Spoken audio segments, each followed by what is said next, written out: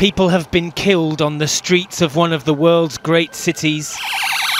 So lights flash blue and red in London's squares, and tape is stretched across its junctions as the police try to contain and to protect. Can we go through now?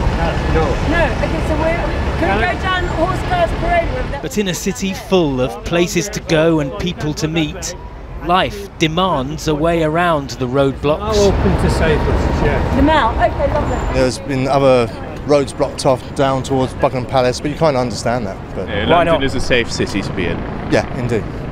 And I don't think the the actions of a few, well, a super person should dictate on the, act, the actions I take. Yeah. Three hours after the attack, people headed to the stations for the journey home, a routine slightly nervously maintained. I think it's a bit um, anxious, yes.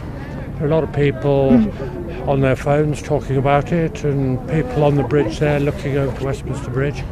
I'm surprised by the lack of security actually around this general area, but um, otherwise it seems to have settled down a little bit, but just a nervous attitude. After nightfall, in the centre of the capital, friends still got together.